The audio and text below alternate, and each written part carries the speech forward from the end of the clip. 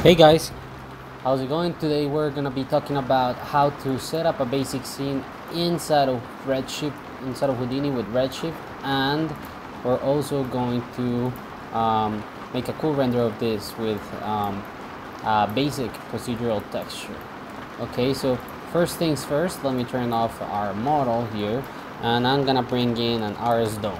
So RS domes basically, you know, just a basic dome that we're gonna add an HDRI to it. So I'm gonna, this is the lion and we're gonna just use some of my HDRI assets on compositing, my textures, HDRs. Okay, let me just, so we're gonna RS light and we wanna say select shader and a dome.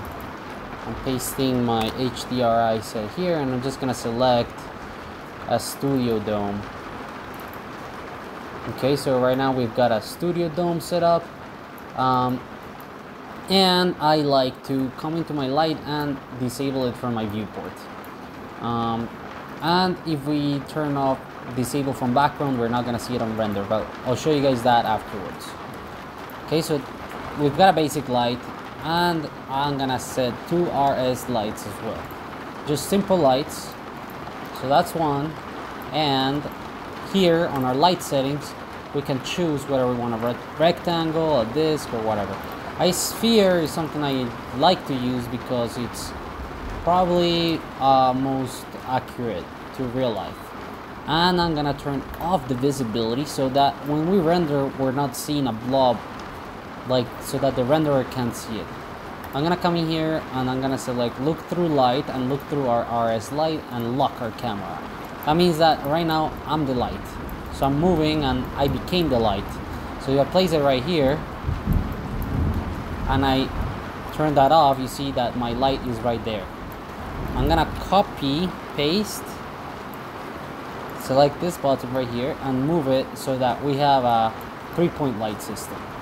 Um, I'm gonna come into my first light and this is gonna be my most intensity and my second is gonna be my less intensity so I'm gonna turn it down to a 50 and we wanna have a contrast of a little bit of color so I'm gonna set this one to be my cold one and this is gonna be my warm light.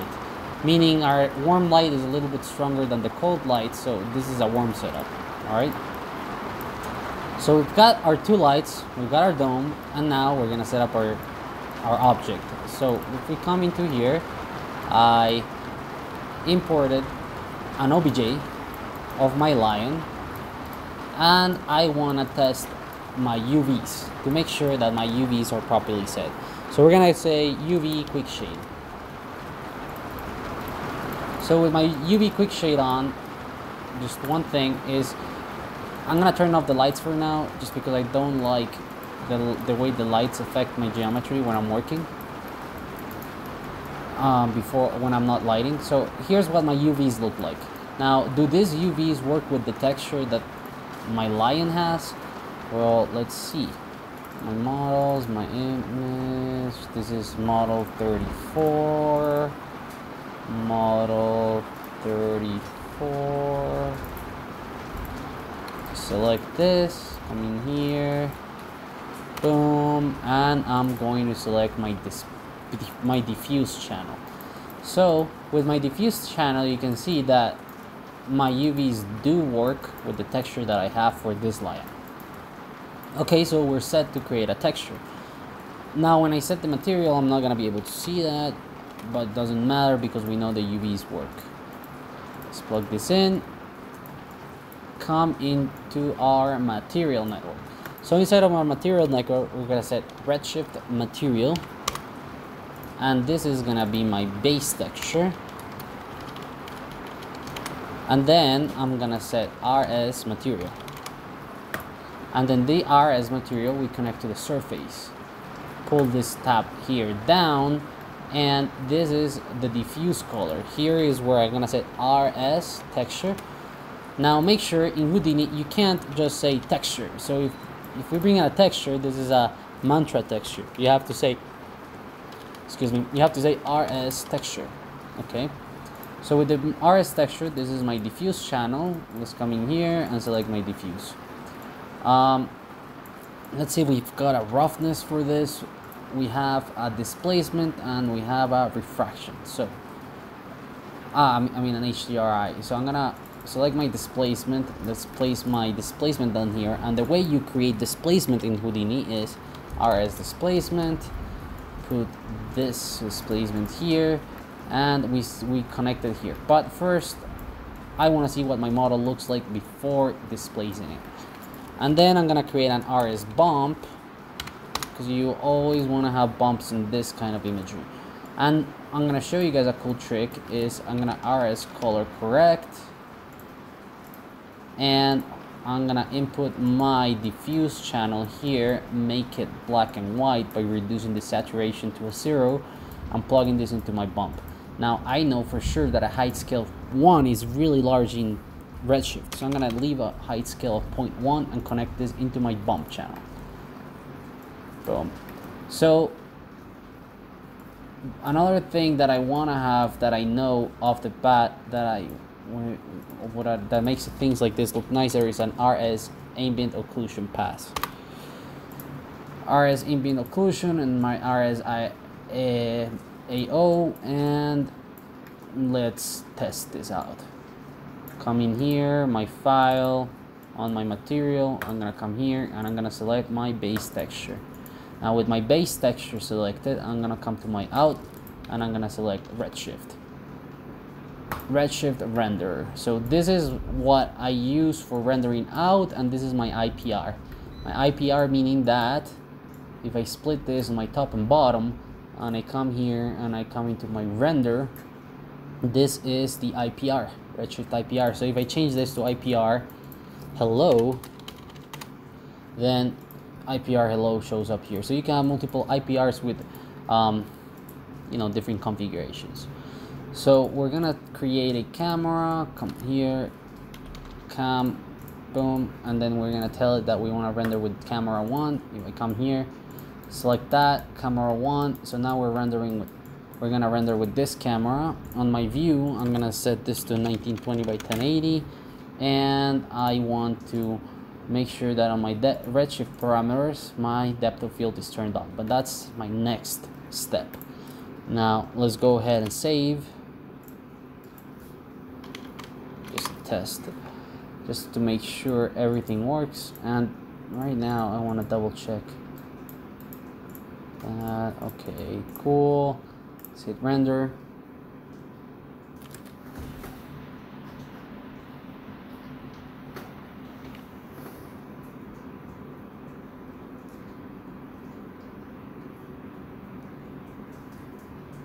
And we're not seeing anything because my camera my lights are turned off turn on my lights and there we go. We have a basic image rendering here. Okay so first things first let me disconnect from the camera and you can see my camera is right here. My lights I'm gonna pull them back a little bit pull this one back a little bit as well and then we're gonna select our dome and I don't want to see it in my background. Now the next thing that we're gonna set up is let's double check what our dome looks like if we transform it under rotation. Okay. That doesn't do that much of a change. Here it does do a little bit more of a change. You can see it like that. My light's coming from here and let's see how this is going to affect it. And then that looks nice. Um, so as you can see um, there's a bunch of things happening here. Obviously my my light isn't my RS dome isn't the best so I'm gonna swap that for something different. Maybe something like uh, RS dome 8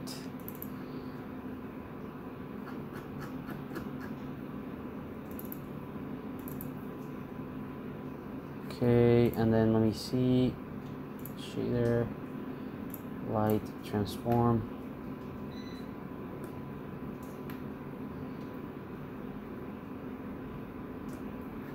Not I'm not seeing a huge change and that's because of the power of my lights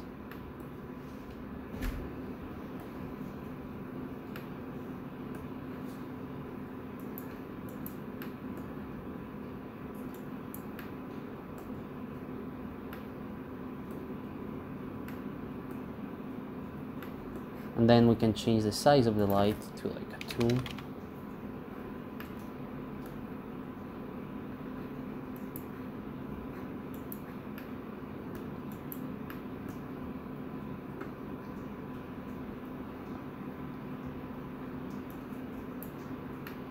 Okay, so the next thing is let's put our camera on a cool angle.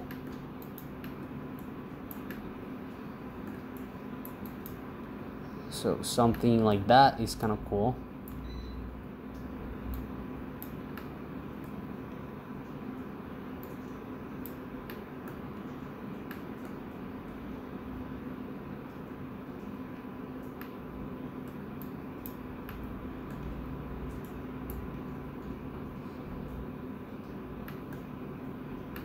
okay and the next thing we're gonna do is on my I'm gonna come in here on my object my redshift my tessellation and displacement and I'm gonna enable my displacement to a 0.01 and then I'm gonna stop the render come here into my material and then on our bump we are gonna reduce it to a 0.01 and now we can place our displacement. Actually let's test this out first okay so now you can see that it has much less bump. If I increase this to a 0.1 you will see the difference immediately. See that? 0.05 should do the trick for now. Um, then we can add one more texture to run to to help our roughness. So our texture um, let's just see if we can use something default from Houdini so something like uh, concrete roughness on our reflection roughness. And I'm gonna apply a RS color correct to this and control the gamma. So this is gonna control how much of it is actually taking place. So zero, fully reflective, a little bit, a little bit of roughness and variation on our reflections, right? Okay, um, the next step will be to add our displacement to this and maybe reduce the amount of reflection that this is catching a tiny bit. So once we plug in our displacement, it might get a little bit slow, so I usually stop my render, place the reflection, save, and then we're gonna see it in action. Okay, so now we've got displacement in there as well as our bump. Now we've got displacement and bump. All right, so the next step is um, gonna stop the render. We're gonna come in here and we're gonna, we're gonna set up our Z depth.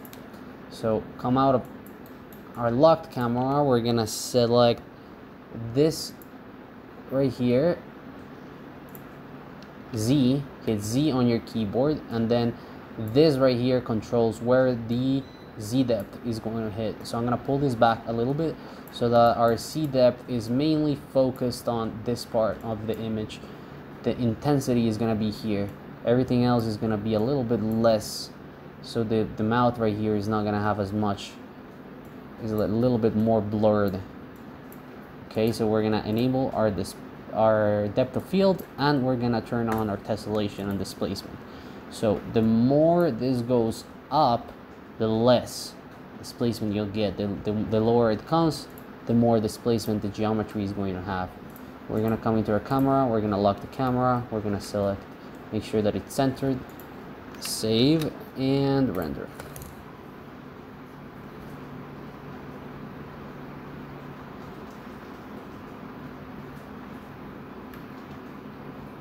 and that's looking pretty cool. Okay so um, this is the last step that we're gonna do is coming to our out. We're gonna select our ROP network and we're gonna select which camera we're rendering with. So we're using camera one. On the output on our comment this is the file path where we're gonna kick out the image.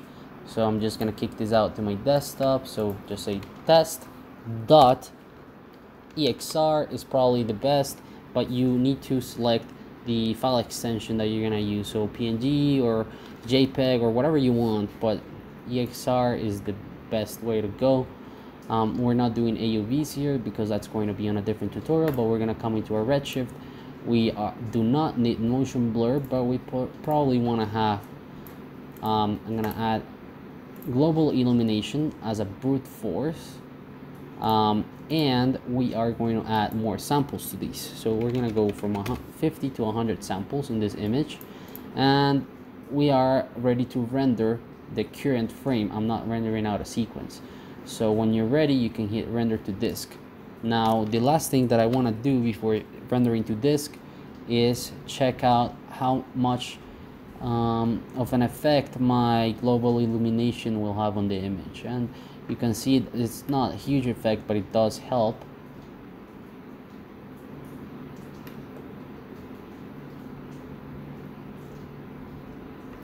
Okay and I'm gonna come here to my OBJ to my camera come out of my camera and tweak my Z depth a little bit. My depth of field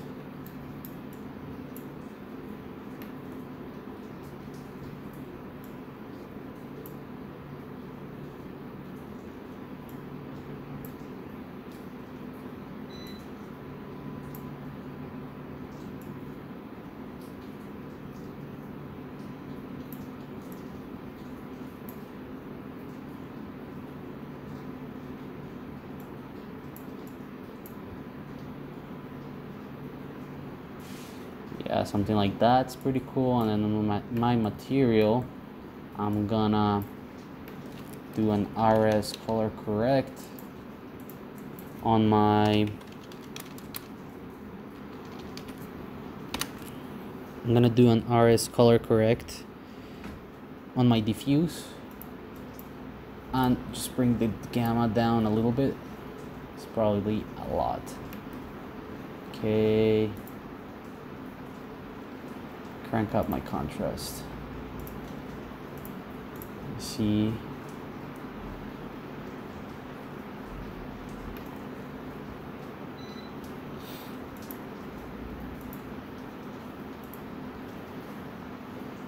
okay and then I'm gonna stop that come out come here and render to disk all right so this is kind of a basic introduction of how I go about rendering still frames inside of Houdini and Redshift. Uh, we'll be back with more. There's a lot more to learn on the a on the AOV side of things, on particles or splines. If there is anything in particular that you guys want to check out, whether it is motion blur or dialing your camera parameters on the effects, please leave a comment and we'll be back with more.